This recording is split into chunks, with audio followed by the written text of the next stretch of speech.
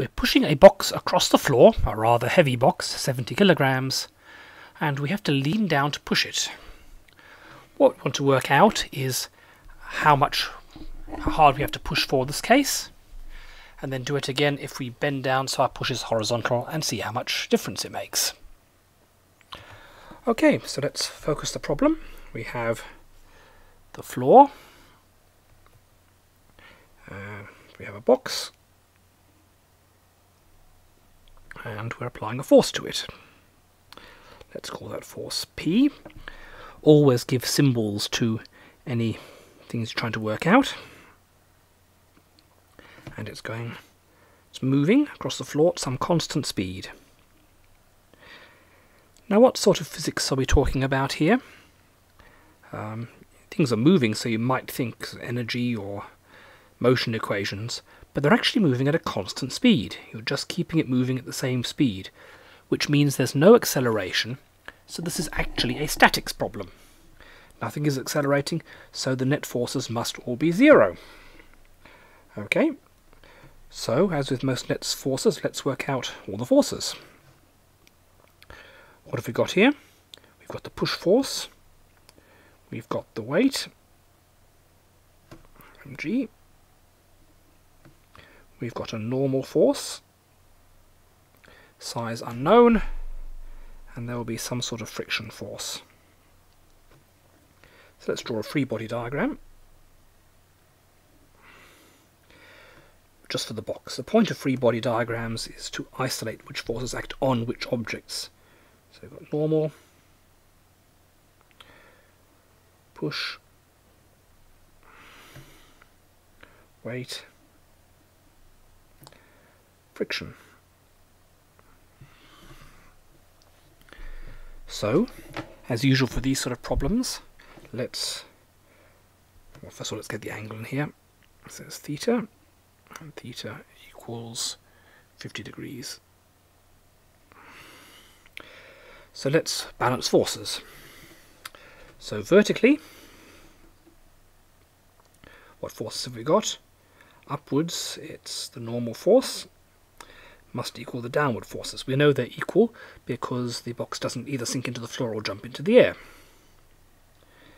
Now if this is theta here, there's going to be a downward component which is opposite over it, so it's going to be sine theta, so so p sine theta plus mg. So there's the component of the push downwards, there's the weight downwards, and they equal the upward normal force. How about horizontally? Horizontally, we've got the right-hand force, which is P cos theta equals the friction force. And we also know the equation from friction is that when something's moving, the friction force is the coefficient of dynamic friction mu times the normal force. Okay, so we have two equations. We have this one, and we have this one. We have two unknowns, the force cancels out, so, so we have the normal force and we have the push force, which is what we're trying to work out. So let's solve these two equations for the push force. The best way to do this is to get rid of the normal force, which we don't care about. The best way to get rid of the normal force would be to substitute this into here. When you substitute in, you get this. Now we need to work out what the push force is, so we need to rearrange this to get P as a subject. So let's put all the terms which have a P on the left-hand side. So we've got P cos theta minus mu sine theta equals mu mg. So P equals mu mg over cos theta minus mu sine theta. Now let's check that for plausibility. Dimensions, P is a force, same dimensions as mass times acceleration, and here we have a mass times an acceleration. this, this, this, this have no units because they're all ratios. So dimensions work. How about plausibility? The force goes up if the mass goes up or g goes up, which makes sense. It goes up if the coefficient of friction goes up. It's a bit more complicated dependence on theta. Um,